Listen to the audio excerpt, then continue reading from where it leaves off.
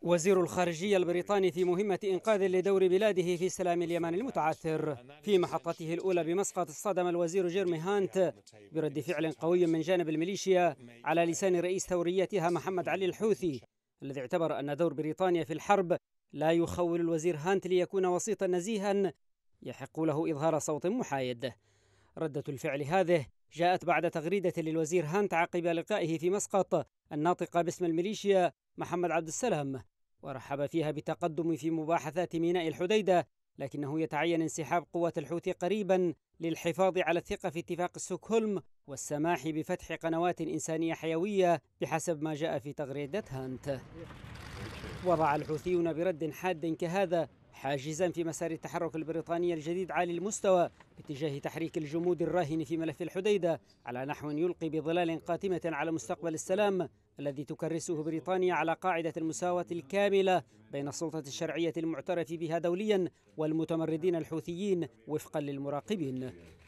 ويرى هؤلاء المراقبون أن نهج احتواء الحوثيين عوضا عن عزلهم والذي اعتمدته بريطانيا الممسكة بالملف اليمني في مجلس الأمن وكرسه البريطاني مارتن غريفيث لا يبدو أنه يحقق نتائج جيدة بعد أكثر من عام على تسلمه مهام منصبه مبعوثا أمميا جديدا في فبراير من العام الماضي خصوصا بعد أن انتهت ثلاث زيارات أخيرة له خلال أقل من شهر لصنعاء بهدف إنقاذ اتفاق الحديدة إلى الفشل.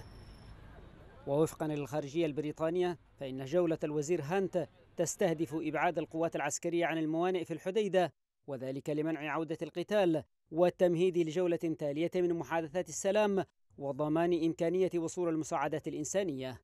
الجولة الحالية في مسقط والرياض وأبو ظبي التي يقوم بها وزير الخارجية البريطاني ليست المحاولة البريطانية الأولى التي تستهدف إنجاح مساعي المبعوث الأممي في اليمن. فقد قام سلفه بوريس جونسون بجولة مشابهة إلى العواصم الثلاث في يناير من العام المنصرم. حينها لم تنجح جولة جونسون في وقف المعارك بمحيط الحديدة والتي تطورت إلى أن وصلت القوات الحكومية معها إلى مسافة قريبة من وسط المدينة قبل أن تتدخل واشنطن وتدفع بطرفي الحرب إلى محادثات في ستوكهولم. انتهت إلى اتفاق ملتبس بشأن الحديدة وتفاهمين لم يطبقا على أرض الواقع بشأن الأسرى والمعتقلين والمفقودين والتهدئة في تعز.